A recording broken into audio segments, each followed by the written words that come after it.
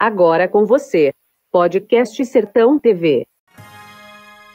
Olá, amigos! No podcast de hoje, o vereador e vice-presidente da Câmara Municipal de Jeremoabo, Zé Miúdo, não para. Nessa sexta-feira, 3 de dezembro, por volta das 4h30 da manhã, o mesmo já estava de pé para acompanhar pacientes até a cidade de Antas, na Bahia, e Salvador, em busca de procedimentos cirúrgicos. O vereador tem se destacado pelas ações em prol dos mais necessitados, sempre em busca de uma saúde com mais complexidade. Zé Miúdo, um vereador de prontidão para aqueles mais necessitados. Redação Estúdios da Sertão TV.